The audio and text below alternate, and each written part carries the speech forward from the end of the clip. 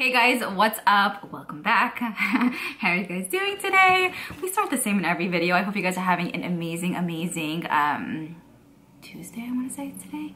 Yes. I'm loving my look, let me tell you. I tried out a bunch of new drugstore and high-end goodies. Of course, my full face of makeup will be linked down below, but I'll also keep you guys posted in my I'll keep you posted type of video letting you know if the items worked out for me or not because some things I like, some things I don't like, and then some things I'm kind of like in the middle about, you know? So the title of this video is a bit extreme and it's kind of like what?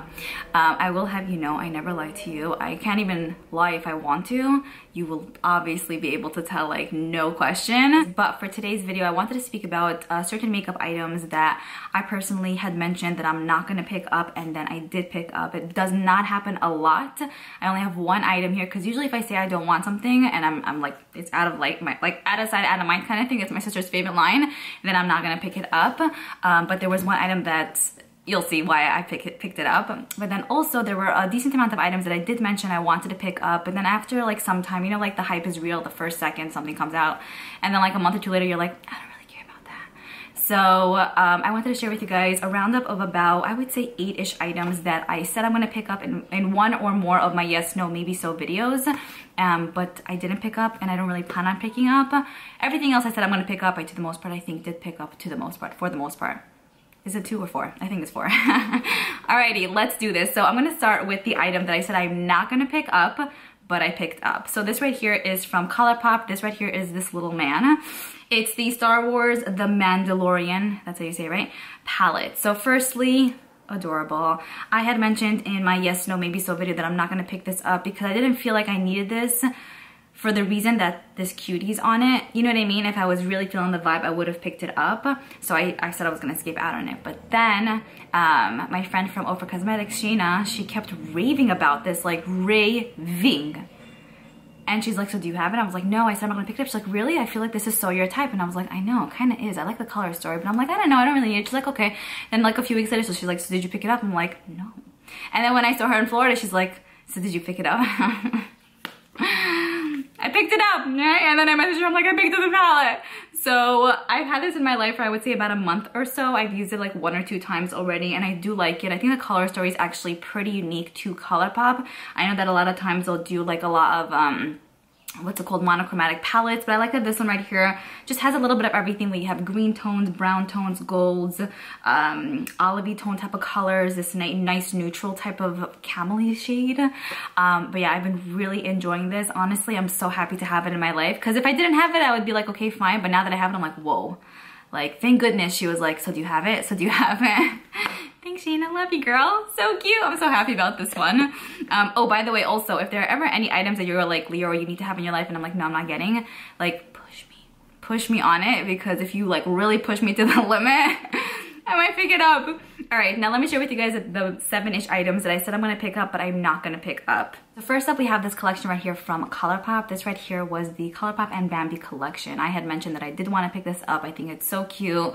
I really did enjoy the Bambi movie as a kid. I haven't watched it in so many years, but then a lot of you guys were telling me it just makes you sad, and I'm like, wait a minute. After I, I read the comments and after I made the video, I'm like, it does make me sad. You know, that movie was a very sad movie. That movie and Dumbo.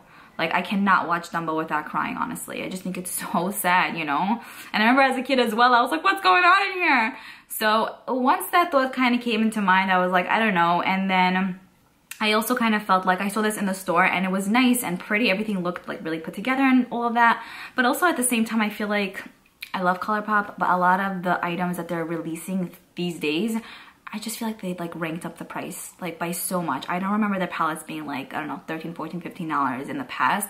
I know times have changed. I know, you know, years are passing by and people are, you know, raising their prices for stuff. When I was at the store, I was like looking at it I was like, okay, maybe, but then I checked out like the lip liners and like the palette and they were just like, I personally felt like expensive for Colourpop and I know it's in collaboration with Disney's Bambi, so I don't know how the whole money situation works with that, but then I was like, at the end of the day, I don't really feel so attracted to the colors. Yes, Bambi and all of that. And I do always say when brands amp up their packaging or they collaborate with someone, it's kind of, it makes you kind of want it more.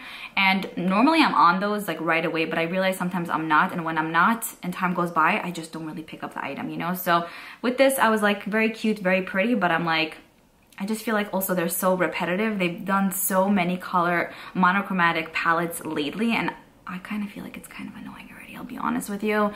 It's like cute and fun and it's affordable and I love that they're kind of like releasing so much for everyone in a way, but at the same time, it's like so overdone. Like I, they recently just released these five, five pan brand new uh, monochromatic palettes, I wanna say. But I'm just, I was looking at it and I was like, scroll, scroll. I was just like, it's so overdone and repetitive and boring at this point where it's kind of like, I'm not feeling it, you know? So yeah, I'm not gonna pick up the Bambi collection. Next, I wanted to speak to you guys about the Marc Jacobs uh, coffee collection. So I think that's what it's called. Now this right here is actually a collection that I'm legit waiting for to enter TJ Maxx and Marshalls. Like I can feel it in my heart and soul that it's gonna be there sometime very soon. I would say in the next month. So I'm like lurking the stores, you know what I'm saying? Is that the word? Anyway, so Marc Jacobs recently released this really cute like coffee collection. It includes a compact with blush, bronzer, and highlighter for $34. It's actually 49 originally, but it's 34 now. They also have a extra shot caffeine concealer foundation situation. And then I think that's pretty much in regards to what's included in the collection. Very cute, very unique um, collection in general. And I love the whole concept. But yeah, so I was gonna pick this up. I was like, what am I saying? I was gonna pick this up originally, but then I kind of like started hearing mixed reviews on it and I usually love to test out products for myself and even the, and even what I'm saying right now, if, if it doesn't float your boat, it's like 100% totally fine because I feel like my opinions might be different than yours, yours might be different than mine and you know that's what that's what I think is so beautiful about the world in a way because you know what worked out for me might not work for someone else and then what worked out for someone else might not work out for me because we're all so different, you know? So anyway, yeah, I did want to test it out for myself but then other things started coming out and that kind of fell on the bandwagon. As time went on, I saw that a bunch of the Marc Jacobs goodies were on sale in Sephora's um, on Sephora's site, and then I saw this going on sale, and I was like, you know, if I would end up finding it at TJ, I would probably pick it up for the affordable price tag. Maybe, maybe not, but it's definitely not a collection that I that I felt the need to pick up for the full price tag, especially now considering that we will find it at the discounted stores and it's on sale. Like it was cute at the moment, but it just doesn't look like something I really want to spend that amount on. So it's kind of something I forgot about. I purchased a whole bunch of other things after this collection released from other brands. I'm very happy with those products to the most part. And this one I'm looking at and I'm like, it looks cool, but like, I don't really care not to pick it up, you know? Next, I did mention that I'm gonna pick up the Beauty Blender Loose Powder. So this right here is a $34 loose powder, which I think is kind of pricey. Uh, it says it's a soft focus gemstone setting powder. There are pretty solid reviews on uh, Sephora site. There are five shades to choose from, so I feel like something in the line for everyone, but it's $32 and I feel like I'm, I'm not okay paying that amount for a Beauty Blender loose powder. Like for Huda Beauty, I'll pay that. For Milk Makeup, I'll pay that. For Tarte, but for, for, for Beauty Blender, it's kind of like I see where you're coming from and I hear that your sponge is the best sponge ever and I love that, but at the same time, I'm not gonna spend $32 on that, especially, especially considering the fact that we've seen tons of their foundations at TJ Maxx and Marshalls it's kind of like, will it end up being there as well? Um, I just, I know that they're trying to venture out and do different things. They have it solidly down with the sponge, solidly down with the sponge. Uh, so they're doing great with that. And I know they kind of want to venture out and see what else they can do. But maybe if this would have been $22, I would have been like, okay, you know, looks cool. It sounds amazing. I'm sure it performs well too, but I, um, I skipped. Next, we have these products right here from Becca. I'm going to speak about the Light Shifter Finishing Veil Setting Powder. That's $34. And then I'm going to speak about their Tinted Moisturizer, which is also um, not $34, it's $30. So not also, but 30 bucks. So I had initially said that I'm gonna pick these up. Sounds amazing. This was before I even knew that Becca's closing down in September. So I was really excited to see that they're coming out with something new. And I'm like, yes, you know, I'm totally feeling this. The powder looks amazing, like so beautiful. And I feel like it's gonna look like so airbrushed and thin and just very like doll-like on the skin in a way and then I felt like the tinted moisturizer would do well really well for my skin type just because it's a dewy tint and I have dry skin I wouldn't say all all of Becca's complexion products work for me not a lot of them actually don't but I wanted to give this one a go now because Becca's actually going to be closing in September which I'm actually very sad about because I feel like they really had it in like in the bag. Like if they would have maybe came out with a few other things like this, kind of following along this line, I think they would have done amazing. But yeah, they're going to be closing in September as they mentioned. So I've been finding a ton of their goodies at TJ Maxx. These products will probably end up being there. So for me, I'm thinking like a lot of the times I don't necessarily love to use products that you guys can't get your hands on because essentially I love sharing what I love over here. So if I'm like, oh my gosh, this thing is amazing, this powder, foundation, you guys are like, we can't get it. Like, why are you talking about it? You know what I mean? So it's like in the past, I used to love limited edition goodies and from time to time, I'll still purchase limited edition stuff, but just like with this, it's not going to be available in the next few months. So it's, I feel like kind of a waste. And then like what, if I fall in love with it, I have to buy like 16 backups. Do you know what I mean? So because there are so many other powders and uh, tinted moisturizers out now, I'm kind of giving other um, products a go. So that's my reasoning as to why I'm not going to pick these up. If Becca would not be closing in September, though, I would have totally picked this up already. But because they are closing, um, like when I saw this in the store, I'm like, I'm just not going to pick it up because, you know, I, I, personally think there's no point. Next, this right here is a palette that I did mention I'm to pick up. It's the Tarte uh, Tartelette Juicy Amazonian Clay Eyeshadow Palette. It's actually really pretty, $45. $45. It basically includes a nice amount of neutral shades and then some like pinkier tone shades. I love these tones and colors. I feel like it's similar to what I have on my eyes today. Could you believe that this palette is drugstore palette? I cannot believe it. I Actually applied decently. So yeah, initially I was like, okay, I would really love to try this. I do enjoy Tarte's formula to the most part, for the most part. I keep saying to the most part. I, I thought it's, you say it like that, but I've been hearing people say for the most part. I was like, all right, switch two to four.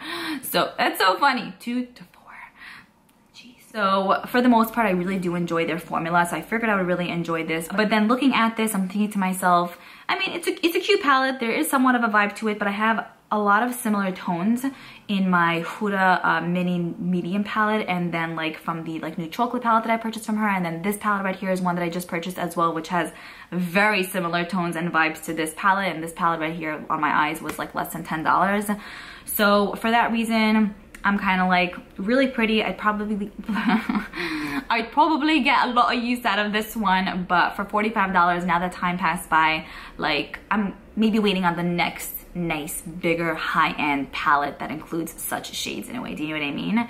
So for that reason, I went ahead and just um, am going to skip out on that one. Then I wanted to speak to you guys about the ColourPop and Animal Crossing collection palettes mainly, but the collection in general. So this was a collection that I was like, yes, need to get my hands on, the cutest thing ever. So with the palettes, they're basically quads. We get a neutral quad green, more of like a peachy tone quad and a purpley quad.